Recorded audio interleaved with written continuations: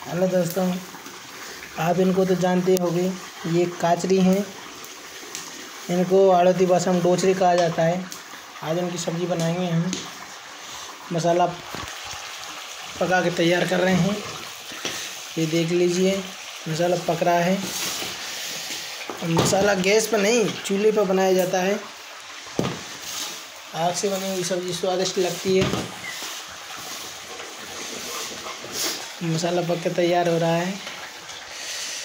इसको पकने के बाद इनको डाला जाएगा। फिर देखते हैं। आगे वीडियो में बने रहिए। भाई इसमें डाल दी गई हैं। अब इनको फ्राई करेंगे। अब अभी फ्राई हो रही है। देख लीजिए भाई कहीं पानी आ रहा है मेरे मुँह में। नमक। और इसमें नमक।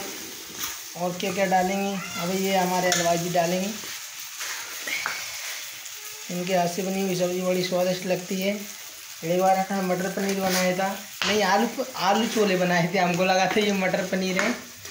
वही वाली सब्ज़ी आज बना रहे हैं ये। और आग पर पक रही है भाई। देखो ये। मज़ा आ जाएगा। अभी कितनी देर तक रहेगी इसके ऊपर?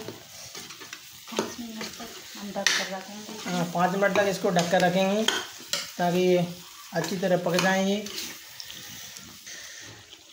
थोड़ा सा पानी डाल देते हैं। अभी ये पानी जैसे जैसे कम होगा, ये पकती जाएँगी। अब इसको ढक देते हैं। ये ढक दी अब इसको पाँच मिनट तक इसे ढके रह। ढके रहने देंगे। उसके बाद में देखिए, पक जाएगी और बनकर तैयार भी हो जाएगी। फिर खाने का आनंद लेंगे। देखना है भाई, अभी देर लगेगी।